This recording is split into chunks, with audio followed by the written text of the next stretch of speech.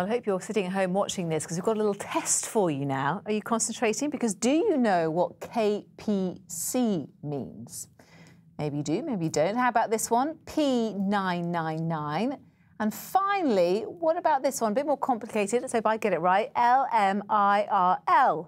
Any ideas? Well, if you're a parent, you might want to brush up on these acronyms because, according to the government, it is what teens are using to disguise their language and feelings when they're on social media. Now, to help concerned mums and dads, the Department of Education has launched a new online guide, there it is, which decodes the secret messages teens are using.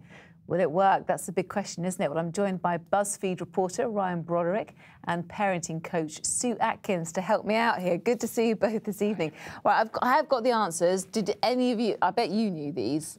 I knew a few of them. Okay, yeah. Sue, don't worry. You're probably with me and weren't so I, sure. yeah, I had to look them up actually. Oh well, well done. Okay, so you can help me out. KPC. What does that mean, Sue?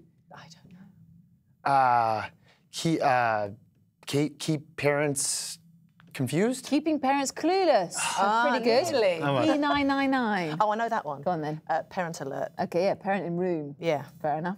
And this one, L-M-I-R-L. Uh, let's meet in real life. Yeah, well done. You've done your homework, huh?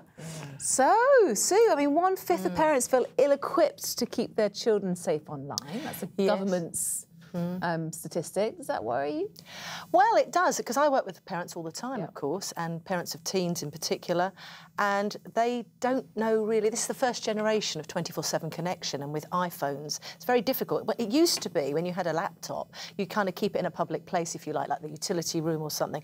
This is my own children, The actually. as utility well. room. I used to keep it there so I could walk past them and just sort of Ah, look when over and, oh, just so you know that mum's sort of hanging around.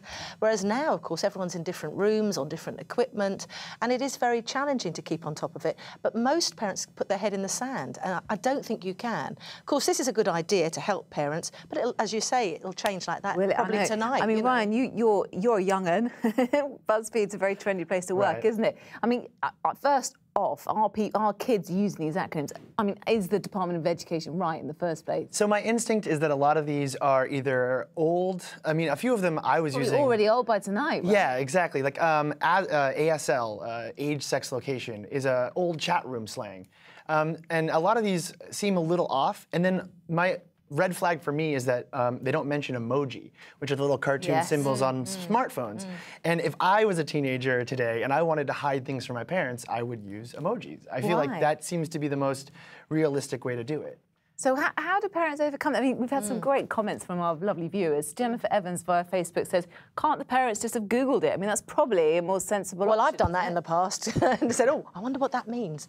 Uh, but I think really we've got to talk and teach the parents, it's not the kids, uh, to keep up with it so that you can try and talk and prepare your children for some of But these should parents dangers. be snooping in the first place? It's difficult, isn't Well, it? Well, it is difficult, but you do need to protect your children, don't you, mm. online? You do need to know, you need to be involved in their lives, but not intrusively. And of course, the whole nature of it is that they want to sort of change when you're a teenager. You want to be kind of a bit edgy, don't you? Because some of it is a bit more serious, Ryan, isn't it? I mean, mm. GNOC, get naked on camera. Mm. You know, Right. kids, children need to be protected to a certain degree online, don't they? But they need their privacy as well. So where do you think the line is drawn? Well, I think anything that inspires parents to care about what their kids are watching or sharing is really important. How do they do it? How do they do it without irritating their children? My thought is, uh, so I mean, I- I'm a little older, uh, but when my parents got Facebook, it was a conversation, and it was kind of a fun one because it was like, this is part of my life. I'm on the internet a lot. I'm on my phone, and it's something I share with them, and then they try, and it's a back and forth. And I think that if you have a, a dialogue about the internet with your child,